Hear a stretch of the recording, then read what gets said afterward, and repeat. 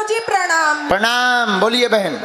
गुरुजी आजकल के घरों में जो 90 परसेंट जो प्रॉब्लम चलती है वो दारू के कारण चलती है। मतलब ये बोलना मुझे अच्छा नहीं लग रहा है। आप कुछ ऐसा उपाय बताएँ जिससे हम किसी की दारू छुड़वा सकते हैं? एक रामबाण उपाय बताइए। रामबाण उपाय यही है कि एक तो ए, दो दो रामबाण है। एक रामबाण ये है कि उनको बागेश्वर हनुमान जी से जोड़िए मांस मंदरा लहसुन प्याज वहाँ छोड़ा जाता है।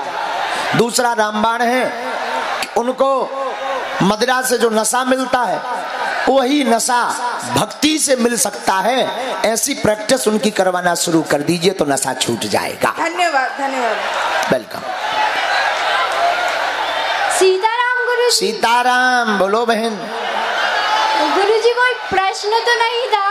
बस आपका आशीर्वाद मेरे परिवार और सबको चाहिए पूरे परिवार पर कृपा रहे। और जय जय आपको गुरु जी एक पेंटिंग बना के दी है तो मेरा मन है कि आप प्लीज़ उसे खोल के देखिए ना गुरुजी। अच्छा ठीक है देख लेंगे। आपकी आज्ञा सिरोधार्य है।